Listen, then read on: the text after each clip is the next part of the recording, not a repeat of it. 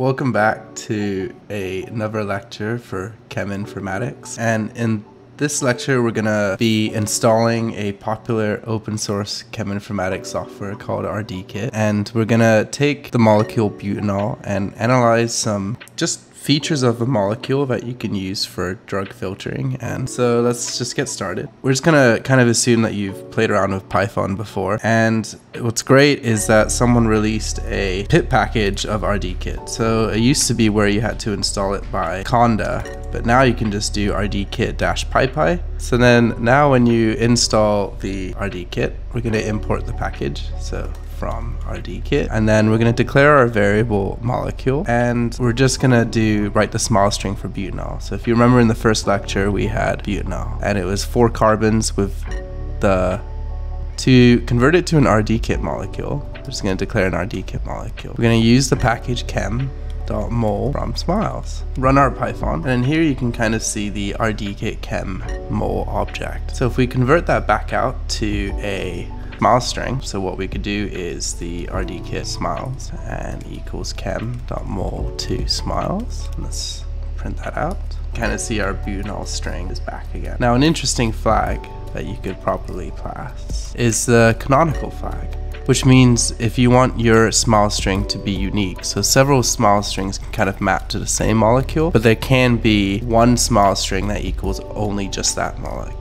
So if you pass in that particular flag, for the case of butanol, it just happens to be the same that we typed in. Um, we can kind of play around with it. So now we have our molecule pass through our RDKit. We'd like to do some interesting things and just kind of check out like maybe some properties of the molecule. One of which is the molecular weight. So everyone has, that's always an interesting property. We always need to know what the molecular weight is for setting up any reaction or any, it, it tells you like how many, the weight of um, how many, like your heavy atoms and your, like if it's like a really big iodide or a chlorine or a bromine, like they would really tail the molecule and it would give it a unique feature. So it's of interest to a lot. If you remember your Lipinski rule of five, that the general all drugs like to be molecular weight less than 500 so that's kind of like a weird trend in the data people were seeing. And um, nowadays that trend tends to break based on you know what type of drug it is. So people like to use it as a metric. So to get the molecular weight we would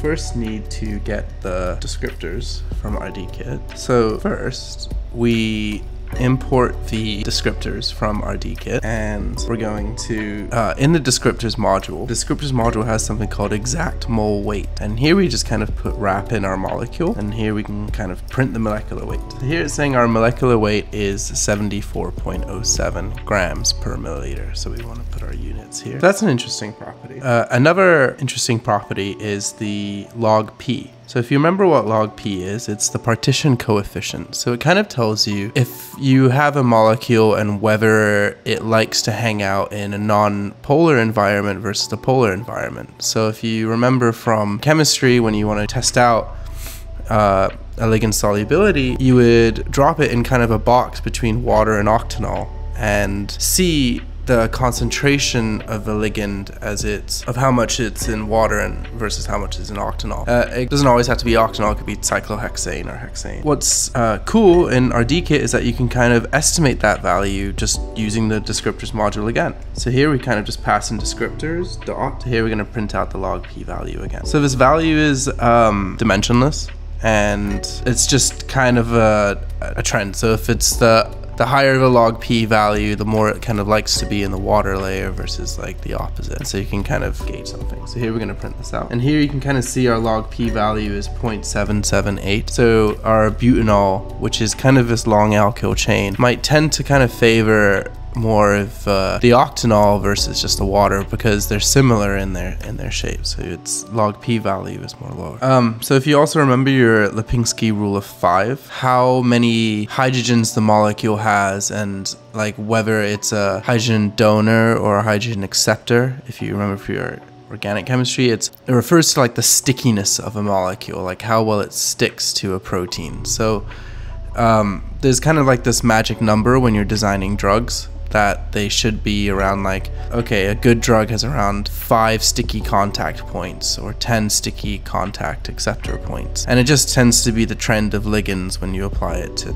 to humans or rats or monkey models. So um, those properties are of interest to to any designer. So here we're gonna get H bond donor and again the descriptors module with num H donors pass in our RDKit. So here it's saying our H bond donor is one, which is that butanol. So it's that oxygen which makes sense. Now let's do acceptors and as a little exercise as we're typing in the code, which meaning is the oxygen. So it's that, it's that lone pair on the oxygen. The next property that we want to, to talk about is the rotatable bonds. So the flexibility of a molecule. So when you when you design a drug, if a molecule is rotating a lot and it's very flexible. It means that it could like bend into a lot of different types of poses it has. The less kind of rigid it would fit against a certain type of protein. And um, kind of think of it as this key and lock model, which is the common way to explain this. If your key was made of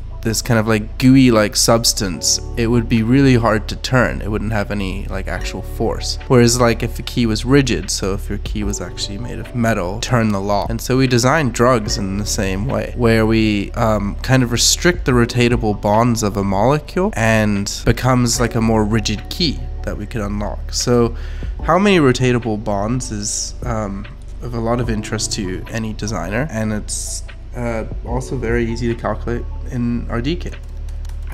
And you have to think, I mean, there's a lot of rotatable bonds. Um, you know, a non-rotatable bond would be something like a, an alkyne, where it's just linear. So again, you just import the descriptors package, and then num, rotatable bonds, and then pass in your RDKit molecule. And I think it's referring to the main bonds, or maybe the main types of bonds. Maybe it's uh, two dihedrals.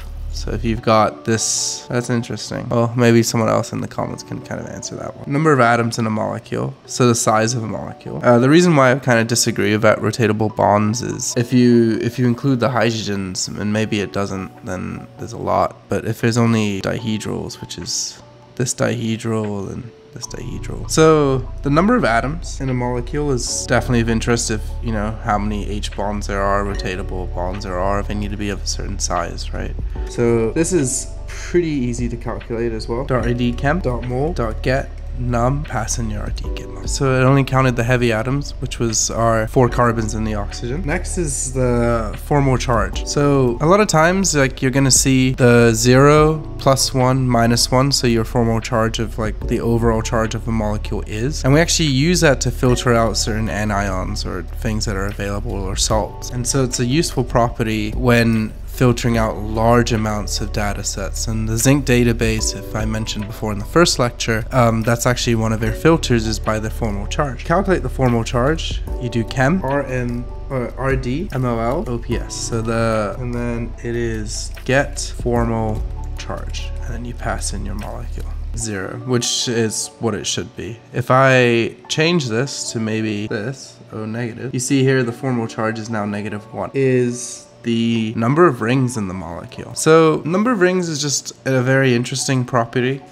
Um, things that are aromatic are a ring, and so you can start to filter out aromatic compounds and that could be very useful when searching through different types of chemical space. So when you're going for maybe like dyeing your clothing, which is mostly made up of like aromatic compounds, or scents or perfume, um, which is also mostly like aroma based. And um, useful in filtering out large sets of chemical compounds for that type of industry. So if you if you work in materials or or that nature. So here we can do chem mole descriptors. So there's a separate mole descriptors package where you can kind of calculate this. And then you do calc saying zero.